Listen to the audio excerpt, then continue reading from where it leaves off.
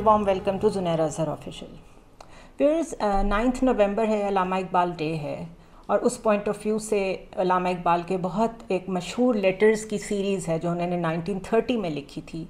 उनको एक छोटी सी बुक की शक्ल में पब्लिश कर दिया गया, और वो बड़ी इजीली बाज़ार में अवेलेबल है। उसका नाम है the reconstruction of religious thought in Islam जब आप उसको पढ़ेंगे तो आपको पता चलेगा कि उन्होंने वे फॉरवर्ड मुसलमानों को क्या बताया है दुनिया से कनेक्टेड रहने का।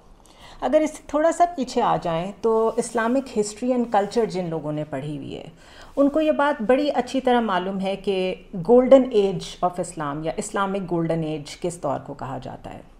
मैं अगर आपको एग्जैक्टली exactly बताऊँ तो ये लास्ट करता है from eighth century to the fourteen century और अब्बासियों की हुकूमत थी और ख़ास तौर पे खलीफा हारून रशीद जो थे, उन्होंने एक हाउस ऑफ़ विजडम बनाया था, जिसमें उन्होंने बगदाद में जितने लोग मौजूद थे और पूरी दुनिया में जितने लोग जो किसी भी इल्म पे दस्तरस रखते थे और उस पर रिसर्च करना चाहते थे, उन्होंने उनके लिए एक जगह बना दी कि आप यहाँ आएँ, आप लोगों को हम पे करेंगे, यानी गवर्नमेंट पे करेगी स्टेट पे करेगी for the people who are experts in their fields और वो आगे रिसर्च करना चाहते हैं। नतीजा क्या हुआ कि बगदाद, स्पेन, ये सारे इलाके हब बन गए नॉलेज का।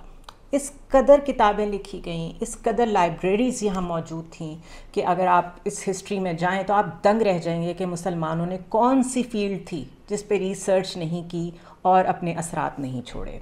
अगर एक छोटी सी लिस्ट में आपके साथ शेयर करूँ कि कौन कौन से कॉन्सेप्ट्स डेवलप हुए और किस किस फ़ील्ड में डेवलप हुए तो आप समझें लॉ थियोलॉजी थियोलॉजी यानी रिलीजन की हर शक्ल रिलीजन के अंडर जो जो डिस्कशन आ सकती है, उस सबको थियोलॉजी कहते हैं।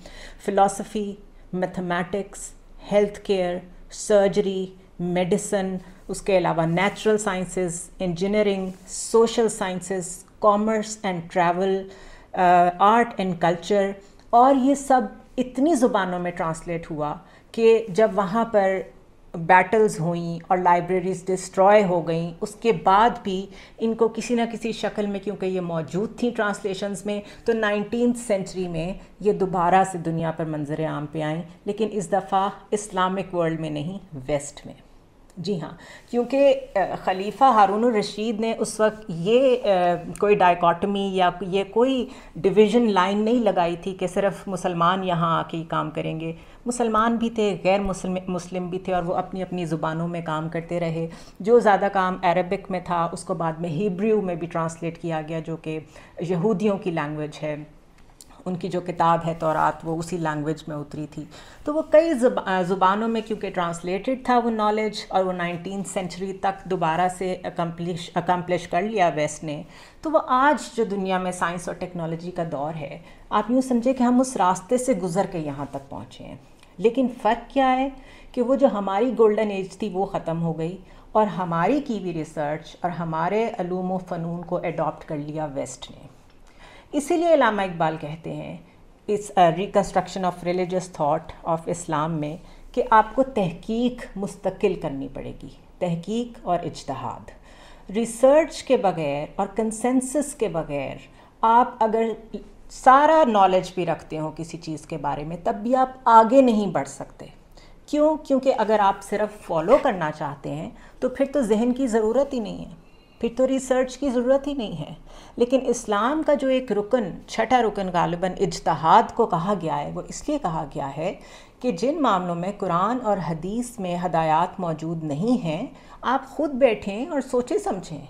और ये कौन करते हैं? ये उलमा करते हैं। ये उलमा का काम है इजतहाद करना। अब दुनिया बहुत चेंज हो गई है। सोशल मीडिया की एग्ज़ाम्पल ले लें। शायद किसी दौर में ये सोचा भी नहीं जा सकता था कि इस तरीके से भी दुनियाएँ आपस में कम्युनिकेट करेंगी, चाँद तक जाया जाएगा मार्स पे जाने की बात होगी।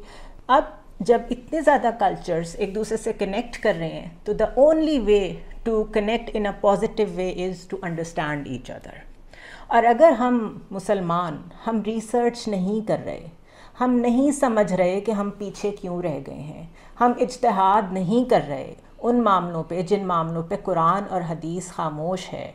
और हमारे उलमा बिल्कुल उसी तरह के कार्डिनल्स बन गए हुए हैं, जो तकरीबन सोलहवीं और सेवनटीन और एटीन सेंचुरी में क्रिश्चियंस के जो हाई हाई लेवल के बहुत पोप वगैरह होते थे, वो बन गए थे। तो फिर तो हम वाकई सही दौर में जी रहे हैं अथॉरिटेरियन रजीम्स में जी रहे हैं हम, क्योंकि हमने तो सिर्फ़ कब्ज़ा करना और फॉलो करना सीखा है। तो जब तक उस गोल्डन एज को पढ़ेंगे नहीं, आपको समझ नहीं आएगी कि हमारे बड़ों ने क्या क्या किया। इब्ने बतूता, जिन्होंने जोग्राफ़ी डिस्कवर की कोलंबस मुसलमान नहीं थे, लेकिन अमेरिका दरियाफ्त किया तो उस वक्त पैट्रनेज इल्म को नॉलेज को स्टेट की हासिल थी। हमारी स्टेट आजकल क्या कर रही है? मैं इस क्वेश्चन पे आपको खुदा हाफिज़ कहूँगी।